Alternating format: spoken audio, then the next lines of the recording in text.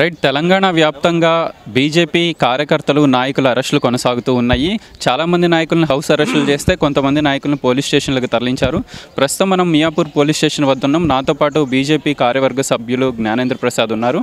అర్ధరాత్రి పోలీసులు అరెస్ట్ చేశారని చెప్పి ఆయన నిరసన వ్యక్తం చేసే ప్రయత్నం చేస్తున్నారు సార్తో మాట్లాడే ప్రయత్నం చేద్దాం. సార్ బీజేపీ పార్టీ తరపు నుంచి అఫీషియల్గా ఈరోజు ప్రగతి భవన్ ముట్టడి కానీ డీజీపీ ఆఫీస్ ముట్టడి కానీ ఏమీ లేకపోయినప్పటికీ మిమ్మల్ని అందరినీ పోలీసులు ఎందుకు అరెస్ట్ చేశారంటే ఏం చెప్తారు? ఈరోజు దుబ్బాకలో భారతీయ జనతా పార్టీ విజయం ఖాయమందని చెప్పి అదేవిధంగా రాబోయే జిహెచ్ఎంసీ ఎలక్షన్లు కానీ రాబోయే ఎమ్మెల్సీ ఎలక్షన్లు కానీ భారతీయ జనతా పార్టీ సత్తా ఏందో భారతీయ జనతా పార్టీ విజయ అవకాశాలు మెరుగ్గా ఉన్నాయని చెప్పి ఇవాళ కేటీఆర్కి అటు కేసీఆర్కి ఇద్దరికి కూడా దాదాపుగా అర్థమైపోయింది.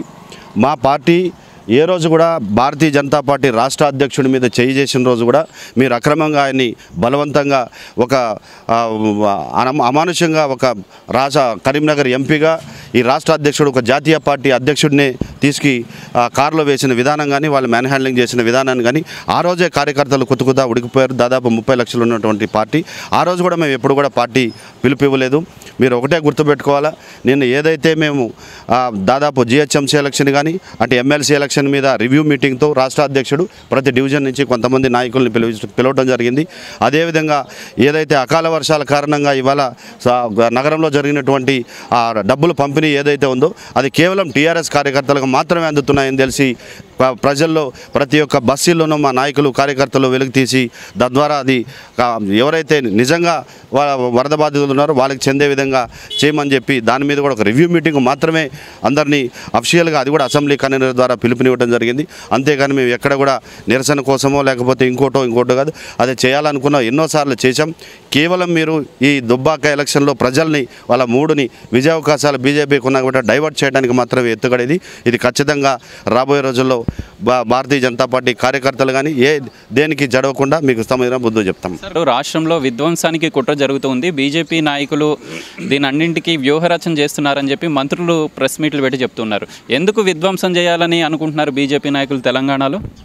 ఇవాళ కేటీఆర్ నోటికి ఏదొస్తే అది మాట్లాడటం తప్పించి భారతీయ జనతా పార్టీ విధ్వంసం అంటే దేనికి విధ్వంసం చేస్తుంది? ఇవాళ నగరంలో అకాల వర్షాల కారణంగా చాలామంది వరద బాధితులు రోడ్డు మీద పడి వాళ్ళకు కనీసం తిండికి లేకుండా మొన్నే కోవిడ్ నైన్టీన్లో ఇబ్బందులు పడిన తర్వాత మళ్ళీ ఇది రెండోసారి ఈ అకాల వర్షాలు వచ్చిన తర్వాత ప్రజలకు అండదండగా ఉండి ఇవాళ ప్రజల్లో జిహెచ్ఎంసీ రాబోయే జిహెచ్ఎంసీలు వస్తున్నాయనే భయంతో ఈ భయ జనాన్ని డైవర్ట్ చేయడం తప్పించి ప్రతి సమస్యను మేము వెలుగు తీసి ఖచ్చితంగా ప్రజల దగ్గరికి వెళ్ళి వాళ్ళ దగ్గరంతా డ్రైవ్స్ పెట్టి ప్రతి బస్సులోనూ నిజంగా వరద బాధితులకు సాయం చేయమని భారతీయ జనతా పార్టీ కోరుకుంటుంది తప్ప ఎక్కడ కూడా విధ్వంసం అనే అవకాశం ఆయన ఏదన్నా ఉంటే ప్రూఫ్ చూపించడం నిన్న మా అరవింద్ గారు కానీ మా ప్రభాకర్ గారిని ఖచ్చితంగా ఛాలెంజ్ చేశారు. మీకు అంత పెద్ద పోలీస్ వ్యవస్థ ఉన్నప్పుడు అంత ఇంటెలిజెన్స్ వర్గాలు ఉన్నప్పుడు ఏ రకంగా చేసిందో భారతీయ జనతా పార్టీ ఎవరి నుంచి ఎక్కడికి మెసేజ్ వెళ్ళిందో ప్రూఫ్ చేయమనండి. ఏదేమైనప్పటికీ వాళ్ళు భయం పట్టుకుంది భారతీయ జనతా పార్టీ కార్యకర్తల్ని. ఏదో రకంగా భయభ్రాంతులు సృష్టించాలా? భారతీయ జనతా పార్టీ కార్యకర్తల్ని రాత్రులు లేదు పగులు లేదు. దాదాపు అర్ధరాత్రి ఒంటి గంటకి ఇళ్ళలో దాదాపు ఆ లేడీస్ ఉన్నా కూడా తలుపులు కొట్టి మరి కొంతమంది కార్యకర్తలు హౌస్ చేయడం కొంతమంది కార్యకర్తలను పోలీస్ స్టేషన్ తరలించాలి భారతీయ జనతా పార్టీ కార్యకర్తలను భయభ్రాంతులు చేయడం తప్పించి భారతీయ జనతా పార్టీ ఇప్పుడే కాదు నక్సలైట్లకి ఉగ్రవాదులకు ఎదుర్కొన్నటువంటి కార్యకర్తలు భారతీయ జనతా పార్టీ కార్యకర్తలు మీ పోలీసు బెదిరింపులకి భయపడం మీ యొక్క నిరంకుశ ప్రభుత్వానికి భయపడం ఖచ్చితంగా రాబోయే రోజు భారతీయ జనతా పార్టీ సత్తా ఏందో మీరు చూస్తారు. సార్ చివరిగా చెప్పండి దుబ్బాక ఎలక్షన్లలో బీజేపీకి డిపాజిట్లు రావు జీహెచ్ఎంసీ ఎన్నికల్లో అసలు అభ్యర్థులే లేరు అని చెప్పి టీఆర్ఎస్ నాయకులు బలంగా చెప్తున్నారు. నిజంగానే ఆ పరిస్థితి ఏం చెప్తారు? అందుకనే ఇవాళ దాదాపుగా మీ చెల్లెల్ని అడగండి. నిజామాబాద్లో భారతీయ జనతా పార్టీకి డిపాజిట్ ఎంత వచ్చిందో చెప్తారు. కరీంనగర్ ఎంపీ గెలిచాం సికింద్రాబాద్ గెలిచాం ఆదిలాబాద్ గెలిచాం రేపు దుబ్బాక కూడా గెలిచాం జిహెచ్ఎంసీ ఎన్నికల్లో కూడా దాదాపు ప్రతి డివిజన్ నుంచి ఇవాళ సీనియర్లు ఐదారు మంది కార్య నాయకులు ఇవాళ ముందుకు వస్తున్నారు అదేవిధంగా అనేక పార్టీల నుంచి కూడా మాకు మాకు మాకు అభ్యర్థిగా మేము పోటీ చేస్తామని చెప్పి ముందుకు వస్తున్నారు ఎవరైందనేది ఒక మూడు నాలుగు తెలిపోతుంది ఖచ్చితంగా జిహెచ్ఎంసీలో మేము మేయర్ స్థానాన్ని కూడా మేము సంపాదించుకుంటాం. సార్ చివరిగా చెప్పండి ఏంటి ఈ అరెస్టులను ఏ విధంగా చూడాలంటారు? ఏం చెప్పదలుచుకున్నారు? ఈ అరెస్టుల పర్వం అనేది టీఆర్ఎస్ టీఆర్ఎస్ యొక్క అరాచక తత్వం అనేది ప్రత్యక్షంగా మనకు తెలుస్తుంది. అయితే కేటీఆర్ గారిని భారతీయ జనతా పార్టీ వాళ్ళు ఏదో అల్లర్లు సృష్టిస్తారు అని చెప్పడం అనేది అది ఆయన అపోహ కల్పించుకున్నటువంటి అపోహ.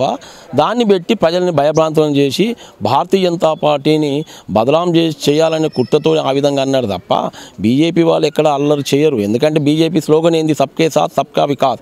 భారతీయ జనతా పార్టీలో సెంట్రల్లో ఉన్న కన్యా కాశీ నుంచి కన్యాకుమారి వరకు ఆ నుంచి కటక్ వరకు ఉన్నటువంటి విశాల భారతదేశంలో భారతీయ జనతా పార్టీ ఇరవై రాష్ట్రాల్లో అధికారంలో ఉన్నా కూడా ఎక్కడ అరాచకాలు చేయలేదు అన్యాయాలు చేయలేదు దౌర్జన్యాలు చేయలేదే. అది. రైట్ ఇది ఓవరాల్గా బీజేపీ నాయకులు ఒకటే చెప్తున్నారు. ఖచ్చితంగా రాబోయే రోజుల్లో ప్రజలే టీఆర్ఎస్ ప్రభుత్వానికి బుద్ధి చెప్తారు. అటు దుబ్బాక కానివ్వండి రాబోయే జీహెచ్ఎంసీ ఎన్నికల్లో టీఆర్ఎస్ పార్టీకి డిపాజిట్లు రావని చెప్పి వీళ్ళు చెప్పే ప్రయత్నం చేస్తున్నారు. వీడియో జర్నలిస్ట్ గౌతమ్తో గోపికృష్ణ న్యూస్ సిక్స్టీన్ సేర్లింగంపల్లి నియోజకవర్గం నుంచి.